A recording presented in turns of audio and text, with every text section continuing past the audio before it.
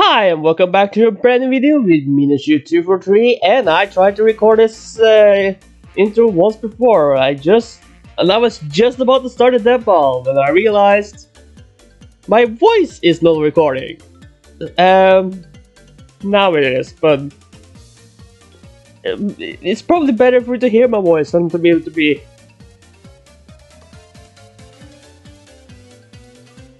you know so okay Anyway, with that said, I don't really know any of these two characters. Oh, I hit my mic multiple times, I think. Anyway, I don't know any, mm, uh, anything about these two characters. Uh, as I tried to say when I was recording without my, any sound from my voice, is that uh, I think Reverse Flash is somehow familiar to Flash, and then Black Goku is somehow familiar to Goku. That's all I'm getting from that, or their names, I guess. But I don't really know these few characters. So now, for real, let's get over to the analysis to see who is going, or let's check the analysis. Let's check the analysis. And play. You know, 2021 is Adam and Eve's 50th birthday. And to celebrate, they want to give you a gift. No, 10 gifts. Huh, usually it would be the other way around. If you use our code BATTLE at adamandeve.com, you'll get 50% off almost any one item. Then Adam and Eve loads on the free stuff. That's a gift for him, a gift for her, and something for the both of you. Plus six free movies and free shipping. Remember, that's offer code BATTLE, B-A-T-T-L-E, at adamandeve.com for 50% off almost any one item and 10 free gifts. Alright then. Let's see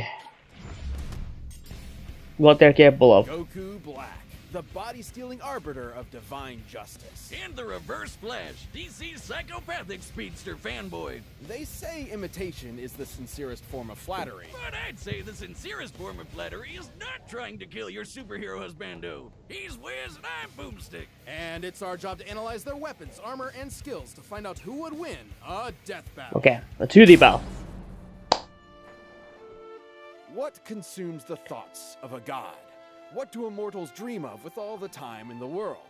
In Zamasu's case, his one goal was divine justice. Yeah, this guy's got major Final Fantasy big bad energy all over him. As the assistant to Universe 10's Supreme Kai, Zamasu prized, above all else, cosmic order and natural beauty. Oh, that reminds me. Did you know I can burp and fart at the same time? Here, let me try.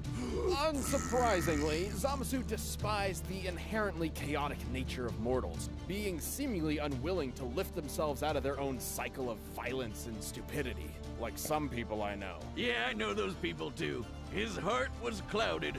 Until the day he met Son Goku. With God Ki, Goku could match blows with the god of destruction, Beerus. Their clash nearly destroyed the entirety of Universe 7, a cosmological structure at least nine times larger than our own universe. At most, it could even be as large as 13 times greater than ours. Well, that is It's worth mentioning that when two gods of destruction big. fought, they were capable of casually destroying two of these universes. And since the shockwaves from their punches traveled across Universe 7 in seconds, they'd have to be hitting way faster than light. Goku was tapping into his Super Saiyan God form for this, though clearly not at its full strength. While the exact multiplier for Super Saiyan Blue is unknown, Toriyama himself has directly compared it to the original Super Saiyan form. And don't forget, Goku trained with Whis and fought in the tournament with Universe 6 before Zamasu caught up with him. So by that time, he was way stronger. Here was a mortal with the powers of gods beyond even Zamasu's abilities, someone who could bring his dreams to fruition. So Sammy did what anyone would do in that situation. Kill his master to become the Supreme Kai, wish on the Super Dragon Balls to switch bodies with Goku, and kill every single mortal in the universe. And thus the deity Zamasu became Goku Black. Please, Goku Black? You couldn't be more creative? No, you might be wondering, Huh. why didn't he just wish all the mortals dead? But that wouldn't be as fun, would it? Black's got all of Goku's strength and powers, but wielded by a genocidal maniac instead of that lovable goober of a monkey man. And in keeping with Goku's Saiyan heritage and godly ki, Black can easily achieve the form of Super Saiyan God Super Saiyan. But with a champagneful twist. Super Saiyan Rose. Rose.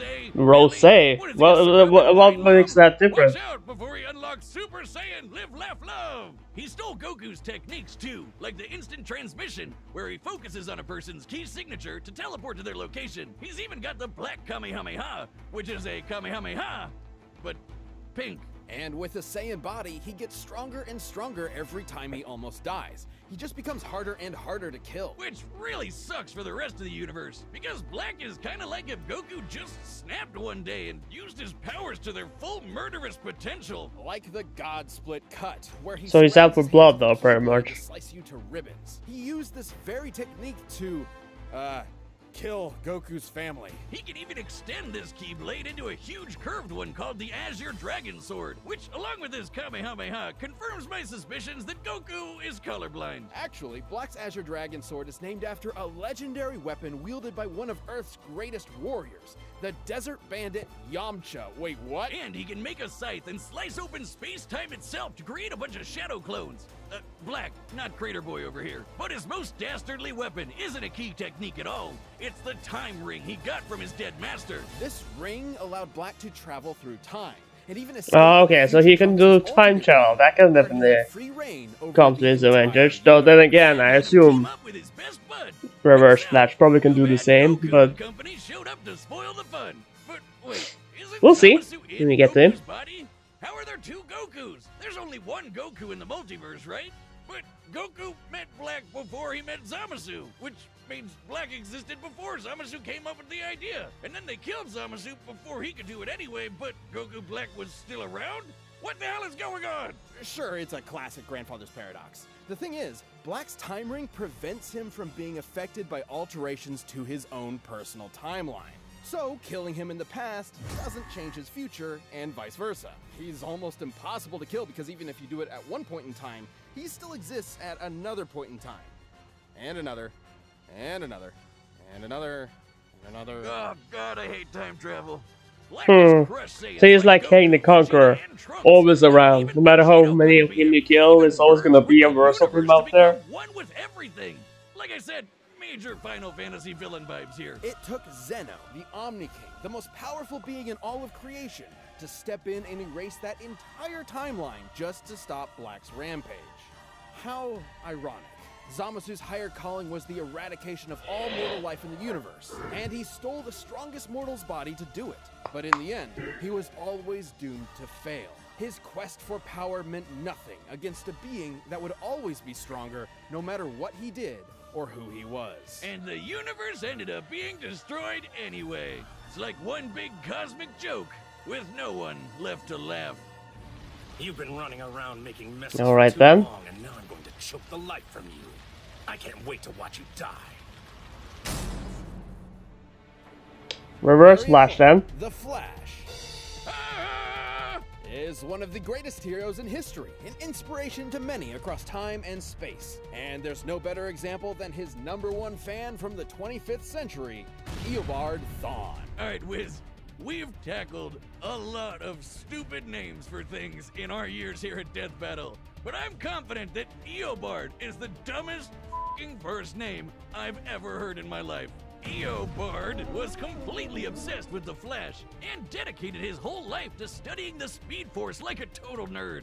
Good luck to him, because there's no way he's figuring that shit out. But Thawne's life irrevocably changed the day he discovered a time capsule from the 21st century. By some strange coincidence, it just so happened to contain Barry's costume. By experimenting on it, Thawne managed to replicate the Flash's powers, turning himself into a mirror of his idol. And you can bet he totally crapped himself when Barry Senpai showed up in the future and took him under his wing. It was a dream come true. Until Barry realized that Thawne had fabricated crimes in order to show up and save the day. Disgraced, Thawne promised to better himself before traveling to the past to prove his worth to his hero, to prove that their bond was special. That's when Thawne found out that Barry already had a best friend, and a family, and a life without him. He didn't matter. He wasn't special. He was just a nobody Barry tossed out in the trash and forgot about, like my Tinder dates do to me. That's If depressing. only. When Thawne visited the Flash Museum in Barry's time, he discovered the secret identity to Flash's greatest enemy that in his future had been lost to time. the one Barry was fated to kill in battle. Eobard Thawne. Wait a minute. Oh, ain't that a bitch? The shock drove Thawne mad. If he couldn't be Flash's best friend, he'd be his greatest enemy. And I guess also ensure his own future death. He would travel from the future to terrorize the Flash family in the past. Revenge in reverse. He'd become the Reverse Flash. Reverse Flash? We're really setting the world on fire with these names today, huh, Wiz? Yeah, Thawne I guess so. From the negative Speed Force, which he generates with every step he takes, just like Barry does with the regular Speed Force. The negative Speed Force gives Thawne access to many of the Flash's powers, including his mind-bending super speed, enough to travel all across time and space in days. He can keep up with and surpass other speedsters like Barry and Wally. Who once ran fast enough to cross the universe faster than two gods who could teleport? Wally even beat himself in a The race. two gods that can teleport. Thawne was still faster than that. Wait just a second, he beat himself? That doesn't even make sense. But unlike Barry and Wally, Thawne applies his powers more catastrophically, using them to their full potential without any care for collateral. Take, for instance, his ability to vibrate himself through solid objects. Objects like, say, vital organs. And if he did, he'd scramble their molecules, causing instant death. Thawne did just that to Barry's wife Iris, and Barry did not appreciate it. Thawne's vibrations are so powerful, he can even produce a counterforce that can reverse the destruction of the entire universe. Pretty crazy. Okay. stuff. But even B-tier speedsters like Jenni Ognats That's crazy. the same kind of thing. And when Barry and Wally raced each other, they were tearing up the entire multiverse. Thawne can create shockwaves with a snap, phase into your With a and snap? Possess you, and even Okay. at such high speeds that you'll So he's doing the words tennis as snap though pretty much. were your own Make shockwaves instead. stealing your speed like other flashes, he can steal your time. Yeah, Thawne can yoink decades from your life and age you 80 years in just a few seconds. Kinda sounds like your sex life, huh, Wiz? Ah, But Thawne's greatest ability is his unmatched skill at time travel, and he uses this expertise to be as petty and cruel as humanly possible. Thawne wasn't a dummy. He knew that if he went back in time to kill Barry before he got his powers, he'd erase himself from the time stream too. So instead, he'd just make Barry's life suck as hard as he could, push him down some stairs, retcon his best friend from history, kill his mom. He even told Barry he'd go back in time and adopt him as his own son. Dude, what the fuck? That's another big difference between Thawne and Barry. Whereas Barry only went back in time to save his mother's life, Thawne often went back in time to try to fix his own mediocre life. He killed his more successful younger brother, his career rival at the Flash Museum, and every single boyfriend his crush had until there was no one left but him. And when she still rejected him, he went back in time again and made her an invalid for the rest of her life. Jesus Christ! This guy's a monster. Yeah, and he's a little, uh, extreme, too. Or whatever. If he went back in time to kill someone, they'd be dead in the future, which means, which means, Which means he'd never know them and want to go back in time in the first place, right? Wiz, maybe time is a construct with no legitimate unit of measurement other than the meager attempts man has made to understand the incomprehensible world around him. Uh, well, actually, Thawne was just inside the time stream when Barry initiated Flashpoint, which rewrote the universe while Thawne was technically disconnected from it. So, Thawne essentially broke. Literally, figuratively, mentally, physically, temporally. Or maybe he just hated Barry so much it defied the laws of time itself. Whoa. Mind blown. More specifically, he became a living paradox, a being without a past or future, literally without continuity.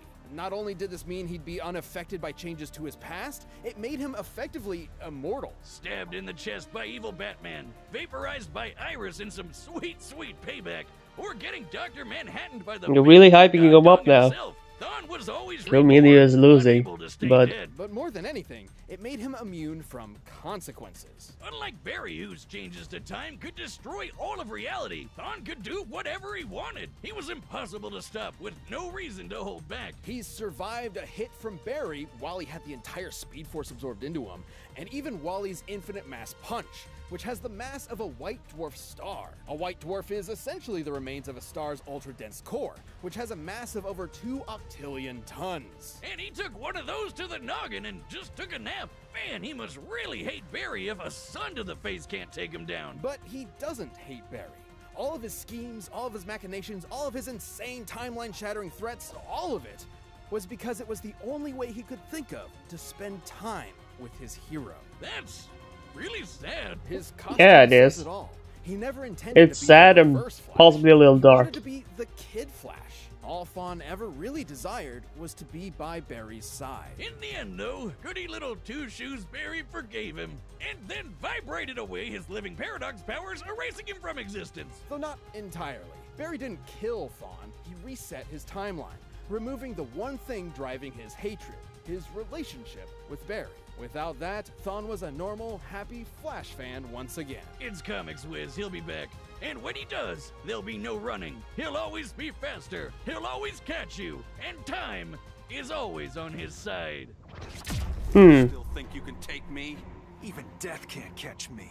Okay. That looked like it came from a game. Which game is that? combatants are set. We've run the data through all possibilities. But first, let me tell you how to I gotta skip the ad, by the way.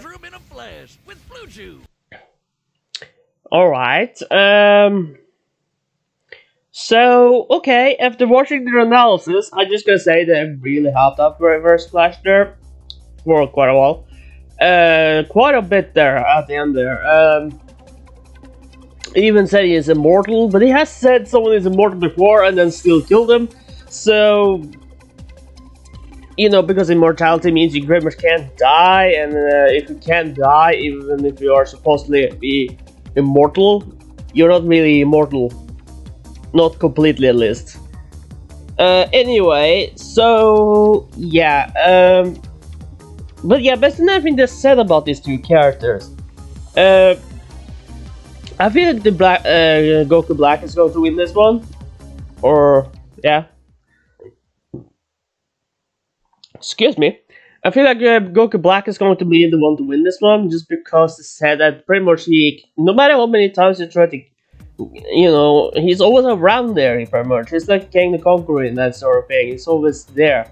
So um, yeah, and uh, sure, you also said the fact the mm, the fly verse was uh, immortal, and I almost feel like that's gonna go against him in some way for this battle, and they're gonna say, you know, when they one of the time when they say he is that, and then they still kill him. So, because that happened before. Anyway, um, and yeah, sure he can. Oh, I'm not sure what to say about this. Um. Don't know what to say here. I, I think I'm just gonna cut this one short, actually. I just say that Black Goku is going to win, and if I'm wrong, I'm wrong, I guess. Uh, but the fact that you can erase uh, Reverse Flash's uh, history, and you can't do really do that uh, with Goku Black. So, yeah, Goku Black is going to win, and we'll see if I'm right or not. So, let's get this over with and play. But right now, it's time for a death battle!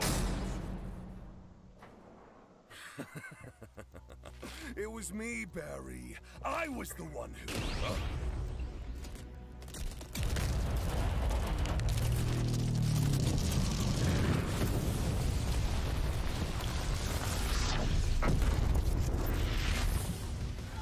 He having a cup of tea? Mortals, sinners, prepare for divine justice!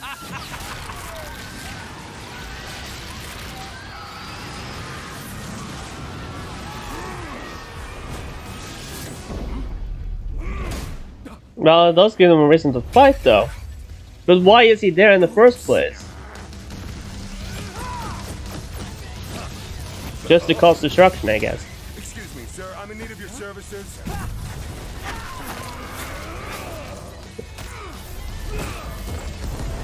Alright. That was the last service that guy ever had to offer. and kill and face your judgment, mortal! Okay.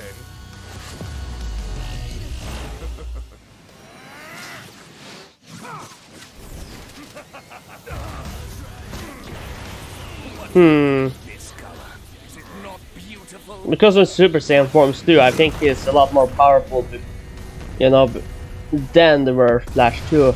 Just because I think I remember saying something about that about Goku that you know they are pretty powerful forms. So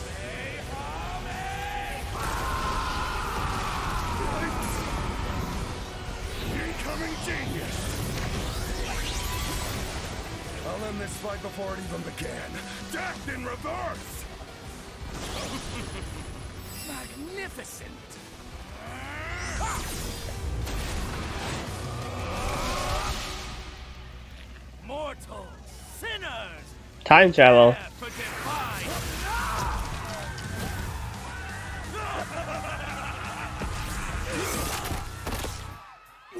dead? Hmm. Yeah, the Shadow Clones. Or Black Clones in this case, maybe.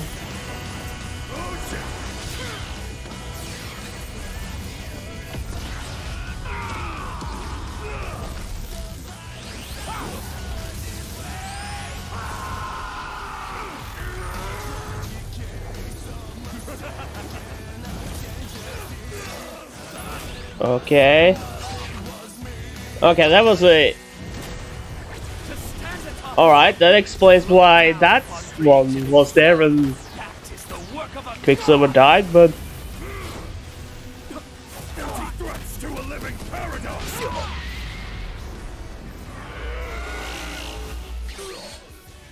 How truly foolish. Sorry, was that important? Ah! Wait, could you destroy that? Did it say that? Did it say anything about you destroying that ring? Because I don't think they said anything about that screen ring being possible to be destroyed.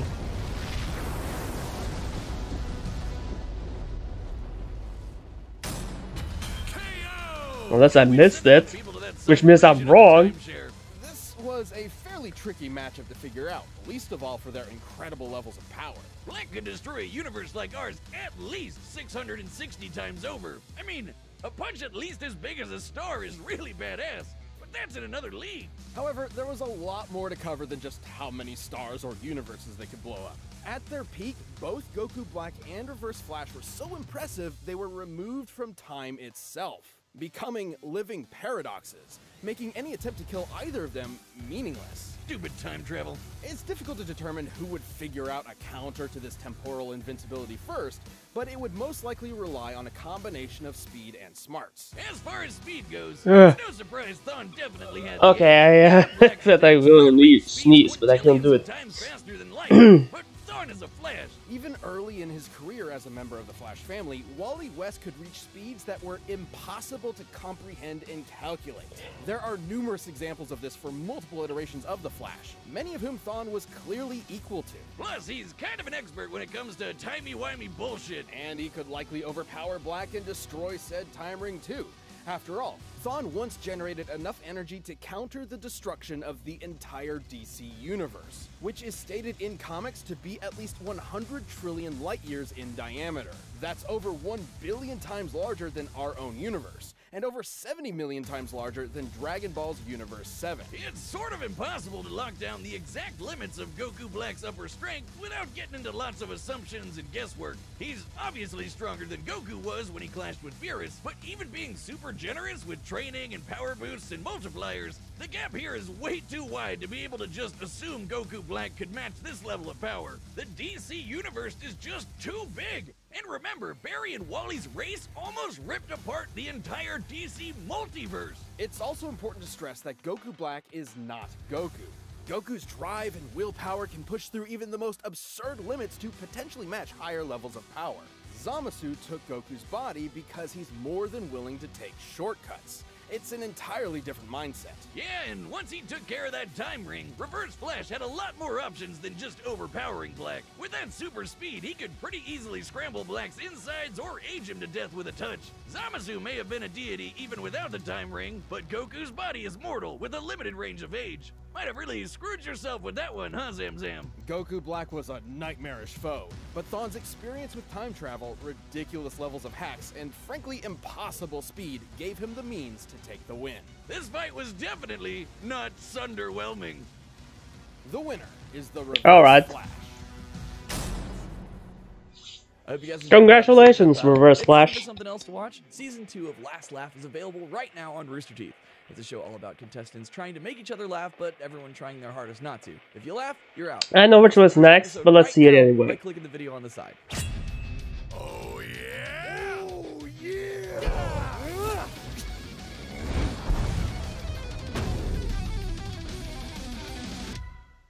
Oh no. Oh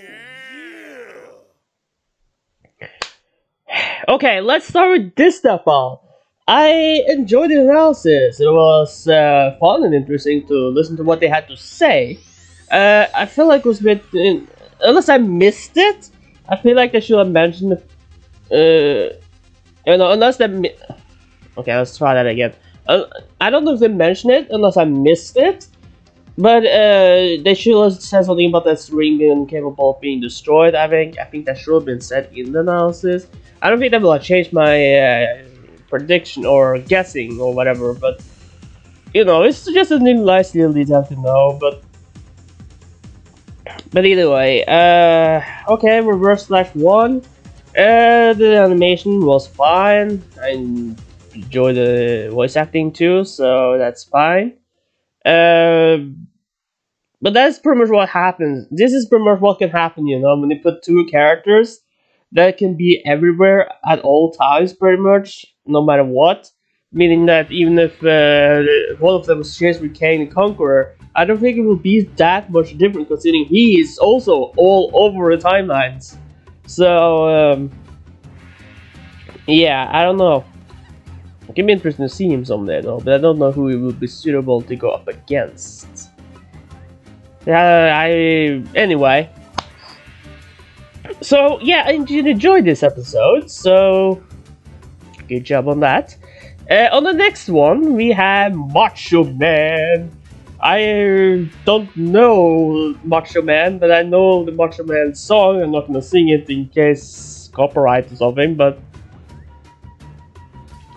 but um, It'll be also Kool Aid though, which I do know. I do know Kool Aid. Uh, mostly because of the new videos or something. We're being referred to as the Kool Aid Killer. You know, if you remember, I don't know if you've seen that video. I don't know if it's still out there on YouTube, but I remember seeing a video about the Kool Aid Killer, and he was killing people who wasn't drinking Kool Aid. That's pretty much where I know him from the most. So, but I don't know what he, anything else about this guy. I, I think because I don't know if he's uh, a mascot for. It's probably a mascot for the Kool Aid. It makes sense, but I don't know what makes him uh, powerful. When it comes to Macho Man, I mean, he is Macho Man, so I assume he is strong, but uh, I don't know. Anyway, I hope you guys enjoyed this uh, reaction video, and be sure to like, comment, subscribe, and all that good stuff. Uh, it really helps out the channel growing and all stuff. And let's uh, try to reach 1,000 subscribers before the end of the year. I've been stuck on 800 or whatever I whatever I am at this point. Below 900 to say that, but I'm just stuck on that one for way too long now, and it's just not going over on 900.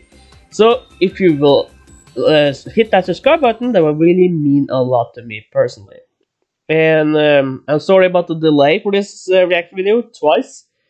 Uh, if you're curious, uh, last uh, weekend, one that just passed by for me, I'm recording this on a Tuesday, by the way. On the Tuesday on the same week this one is going out, in case you. Well, right before Halloween, too. Anyway, I wasn't able to uh, publish it that Saturday, previous Saturday, because, uh, well, I didn't have the opportunity to do videos at all that weekend. And, um, yeah. And uh, then the last weekend before that, I didn't have the motivation to make any reaction videos.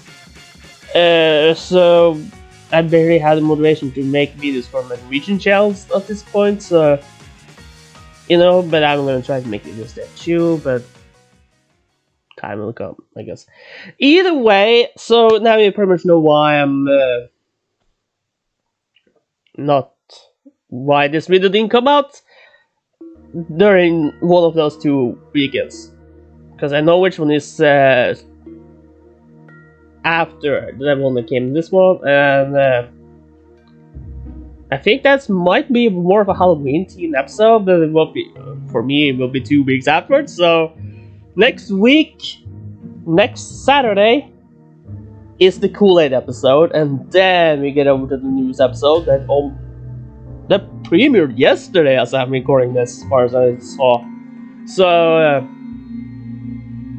yeah, that could be interesting. Anyway, I hope you guys did enjoy this reaction video and uh, episode. And feel free to let me know what you thought about that up, uh, about this episode down in the comments below. And I'll see you guys in the next video. Me and 3 signing out.